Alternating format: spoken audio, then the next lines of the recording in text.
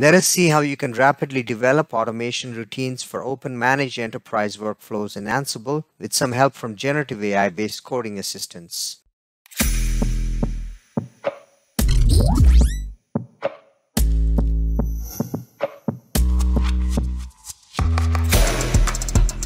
In addition to the GUI-based consoles for iDRAC nodes and Open Manage Enterprise, PowerEdge servers have extensive integration with configuration management and infrastructure as code platforms like Ansible and Terraform. Generative AI-based coding assistants have made these programmatic interfaces even more attractive by accelerating the development time and allowing for expanded scope of automation.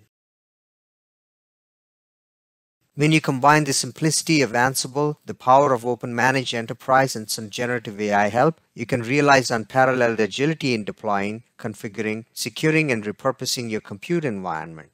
The OME workflows you can automate include inventory management,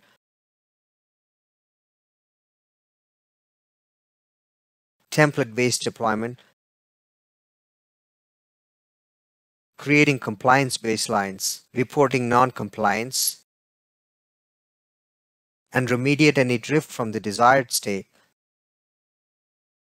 Before we look at the inventory management use case, here are some examples of how GitHub Copilot suggested code for tasks like insert debug print statements,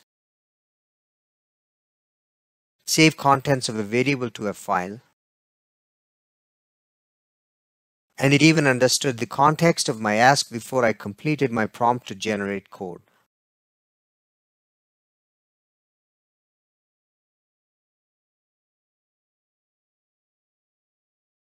Let us start with the basic use case of querying information from OME. We already created variables for things like access credentials. Using the device info module, we fetch device information and store it in a variable. I then use this variable to print various things like number of devices and their service tags. We run this playbook and we can see the information printed.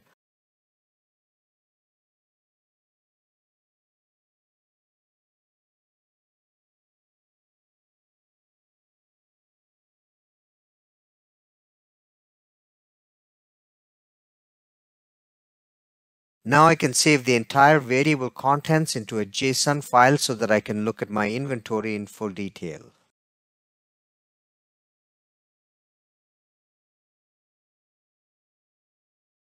Another playbook run created the file and we can go through the file to find the details we are looking for.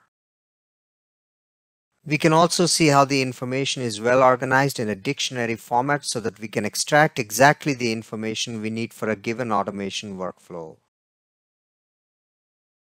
Using the same device info module, I can also extract all the health information of the devices and store it in a different file.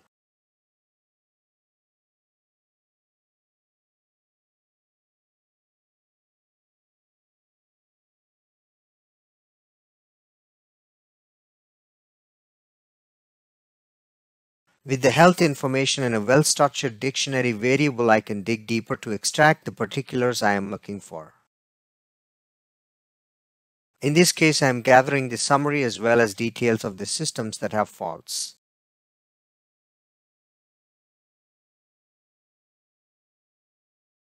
This demo has been recorded with an engineering test lab where the servers are routinely put under different failure modes and as a result we can see multiple systems with fault alerts. You can dig even more to extract things like recommended action and the exact subsystem failure message.